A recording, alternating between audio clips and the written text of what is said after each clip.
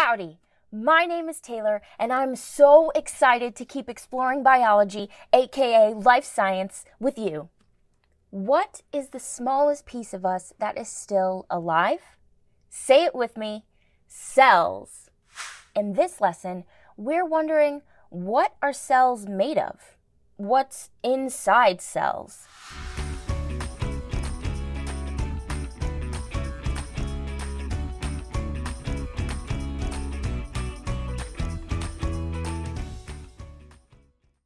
In today's lesson, our goals are to understand what is the same in all cells. So we'll consider what's inside a cell or what cells are made of, and how these cell parts work together as a complete system to do all the things a cell needs to do to keep life rolling. Previously, we explored all the experimental evidence that led scientists to discover cell theory. Years and years of evidence support the idea that cells are the basic units of life for all living things, and all cells come from already existing living cells. Understanding the cell would likely not have been possible without the invention of the microscope. All the microscopes we've discussed previously were light microscopes. Light microscopes, of course, use light and lenses to magnify something. Light, just like water, travels in waves. For something to be visible in light, it needs to be larger than a wave of light. Thankfully, a cell is larger than a wave of light. Unfortunately, most of the bits inside a cell are smaller than a wave of light, making them invisible under light microscopes. You're now looking at an electron microscope specifically the first ever electron microscope that was capable of magnifying images greater than a light microscope could. Electron microscopes involve lots of complex physics and engineering, but the heart of electron microscopy is the use of a beam of electrons, as opposed to a beam of light, to magnify and see the very small. If your curiosity is piqued, tuck into that PDF for an electron microscope simulation to play with and learn more about this incredible tool.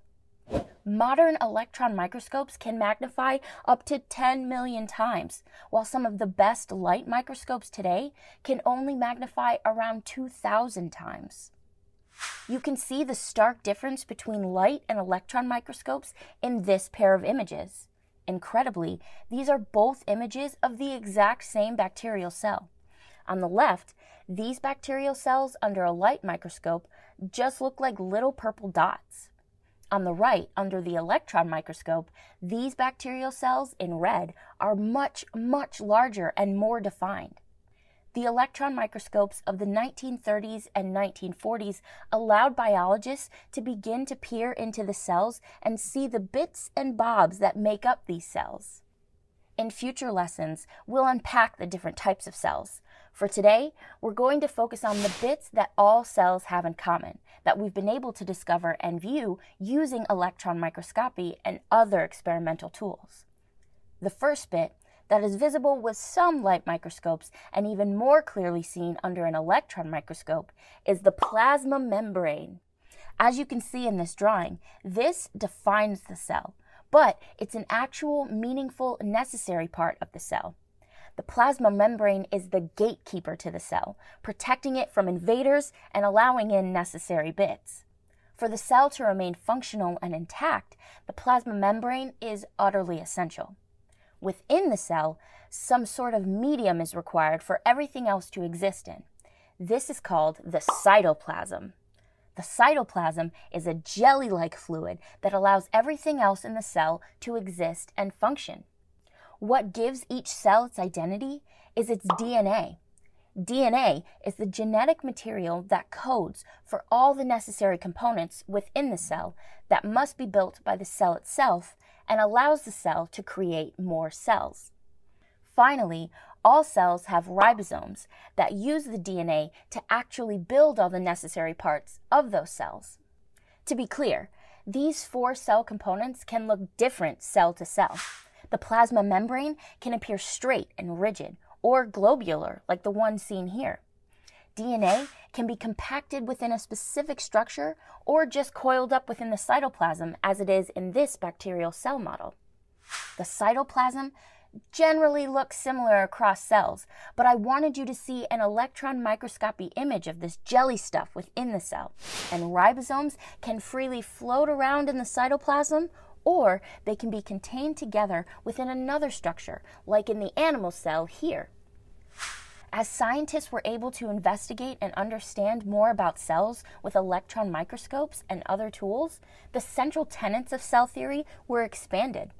We now understand that DNA, the genetic material that gives the cell its identity, is passed between cells during cell division, just like you can inherit something unique from your parents. As we've hinted at, there are different types of cells, but cells of the same organisms are mostly the same. For example, all humans have the same basic type of cells. Finally, as cells operate, including ribosomes building cell structures from DNA, energy flow occurs within those cells. Did we learn what we aim to learn? Pause this video and try to complete these sentence stems and answer this question in a notebook or your guided notes. All cells have a plasma membrane, DNA, a cytoplasm, and ribosomes. We know this because we've been able to see these structures with electron microscopes, and we've been able to experiment with these structures as well. A cell is kept safe, intact, and able to do its work through the protective barrier of the plasma membrane. The plasma membrane contains the cytoplasm, the jelly in which all the chemical reactions and processes of the cell happen. Within the cytoplasm, the ribosomes build everything the cell needs using the DNA. Woohoo! Now, go refine and test your understanding of these fundamental cell biology concepts with the practice questions. And, coming up, we're going to consider the question what types of cells exist?